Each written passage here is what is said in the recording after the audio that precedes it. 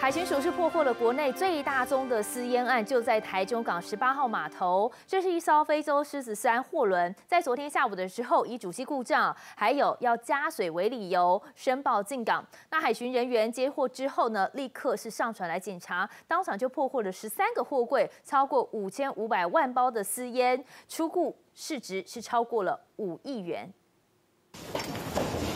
海巡署人员将一箱箱用麻布袋包装的物品从货柜里搬出来，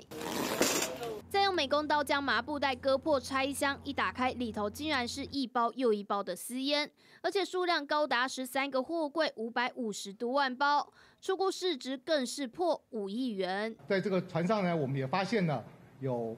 十三只四十尺长的货柜，那里面藏有大量的私烟，这些私烟呢，一共有将近一万一千余箱。也就是五百五十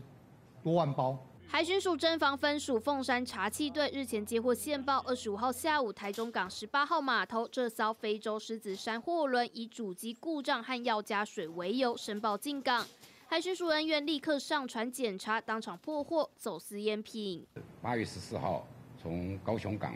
报关出港，目的地在韩国，但在经过了。然后到了这台中港这个部分呢，他是希望能够加水，利用转口货柜的方式来气头蒙混闯关